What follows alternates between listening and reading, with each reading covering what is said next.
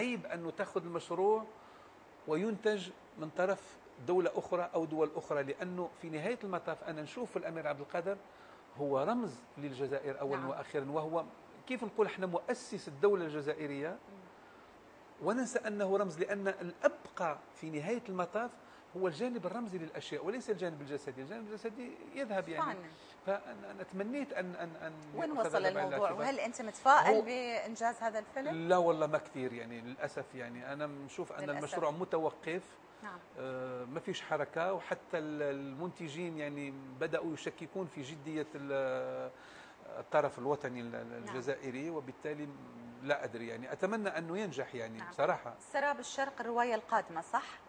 نعم. هذا المشروع مع قطر آه. آه. قطر. هذا هذا انتهينا منه وأنجز في إطار آه، الجائزة جائزة قطر العالمية للرواية هكذا مم. تسمى واشتركنا فيه نحن خمس أدباء في نهاية المطاف أديب إسباني فرنسي آه، من الوطن العربي أنا وكاتب عراقي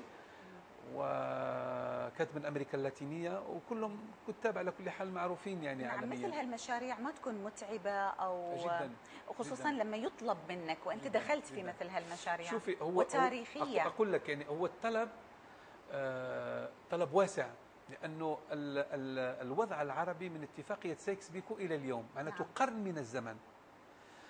وقرن من الزمن أنت تستطيع أن تقول فيه ما تشاء وبصراحة لم تكن هناك أي مسطرة مسبقة يعني أنه كان في حرية مطلقة بالنسبة للكتابة. والله لم ينزعوا كلمة واحدة يعني من, من النص الذي سيصدر في جزئين كل جزء فيه تقريبا 700 صفحة يعني. نعم. ولهذا أنا أنا بصراحة حتى كنت أتصور مثلا في موقفي من لورنس العرب لأنه فيه رؤية عربية تقدسوا شوي تعتبروا أنه آه، آه، شارك في تحرير الوطن العربي خصوصا في ثورة 1918 يعني. نعم. ولعب دور. أنا شايفه جس... شايفه أنا بصراحة شايفه جاسوس يعني. هذا اللي وصلت له في في الرواية. وأقول ذلك يعني بصرامة. وتوقعت أنه يكون فيه نقاش. وكان فيه نقاش مش مع المؤسسة كان مع المترجم إلى اللغة الإنجليزية. فهو إنجليزي. فيقول لي يا أخي هذا بالعكس كان جنتلمان وإنسان طيب. قلت له معليش روح اقرأ أعمدة الأعمدة الاشعه السبعة الذي كتبه Les Sept Piliers de sagesse. نعم. روح اقراه في الفصل الفلاني وقل لي من يكون. نعم. كيف كان يكتب تقارير إلى آخره؟ عنوان واحد بدون عنوان فرعي. أقرب رواية إلى قلبك وتحس إنه هو إنجاز كناقد وكأستاذ انت تحس إنه هو نقلتك والنص الأقرب لك.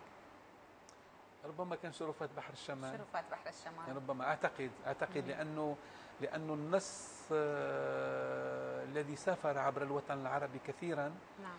وحتى عالميا يعني استقبل بشكل جيد. طبعا في كتاب الأمير فيه ذاكرة الماء. ذاكرة الماء كذلك. في نصوص أخرى يعني نعم. اللي كان لها صدى بس هذا أكثر. نعم. في إنتاج غزير يعني ما شاء الله. روايات كثيرة ومشاريع نعم. كثيرة بالإضافة إلى الروايات الذهنية اللي موجودة نعم. في البيت. مكتبة يعني. نعم. آه عندك أيضا مشروع لكتابة سيرة. نعم. وكما قرأت أنك راح تسميها عشتها كما اشتهتني. أيوة أيوة أي أيوة, أيوة, أيوة. هو عادة نقول عشتها كما اشتهيتها. نتكلم عن الحياة طبعا نعم. يعني. هو فيه لعبة يعني لغوية مم. كمان. نعم. لكن أنا أقول عشتها معناته فيه الإرادة الفردية في عملية العيش يعني الرغبة حب الحياة يعني. لكن كما اشتهتني معناته الحياة كمان إلها قانونها وإلها ضوابطها وإلها يعني ظروفها مش نفس يعني. ماركيز عشت لأروي. لا لا لا لا هو عاش ليروي. ليروي. أنت عشت نعم. فهذا النص أنا بدأته. كان يفترض أن أسافر يعني إلى أمريكا. كان في على أساس أستقر ثلاث شهور يعني بنيويورك. وأنتهي من النص لكن ظروف شاءت أني الغيت السفره لكن النص طبعا أنا اشتغلت فيه يعني مستمر و نص يجسد العلاقة تماما مع الحياة لأن بصراحة أنا لا أحب السير المباشرة أحب السير الإبداعية. ومنذ البداية اختاريت آه، مسلك نيكوس كازانزاكي يعني قد يكون الاختيار صعب لأنه هو عبارة عن حلم. صحيح. آه، عندما عندما كتب سيرته الذاتية نعم. مش اللي كتبتها عنه المنشق اللي كتبتها عنه نعم. زوجته بعد وفاته رسائل إيه؟ الرسائل لا هذا اللي كتبه هو الطريق إلى جريكو, جريكو. آه ترجمة طبعا ممدوح عدوان ترجمة ممتازة جدا نعم. فأنا أحب هذا النوع من من الكتابة لأنك أنت يجب أن تدخل القارئ أولا في عالم الشهوة الأدبية أن يحب هذا الشيء حتى يستطيع أن يستمر معك في, السحر الحياة في سحر أيضا أي في طبعا وإلا في وإلا ما, ما, ينفع آه، وسيم الأعرج إحنا آه، اليوم سعداء كثير خذتنا إلى تسلمي. شرفات كثيرة تسلمي. مش بس شرفات بحر الشمال نعم. شرفات أمستردام وباريس والجزائر شرفات الحياة كلها شاكرين لك على حضورك تسلمي، تسلمي، تسلمي. وموفق تسلمي في عالم الكتابة الحياة أشكرك جزيل الشكر على هذه الدعوة. تسلمي شكرا لك. جزيلا. شكرا لك وشكرا لمشاهدي تلفزيون دبي في كل مكان. شكرا على حسن المتابعة. نلتقي مع بروين حبيب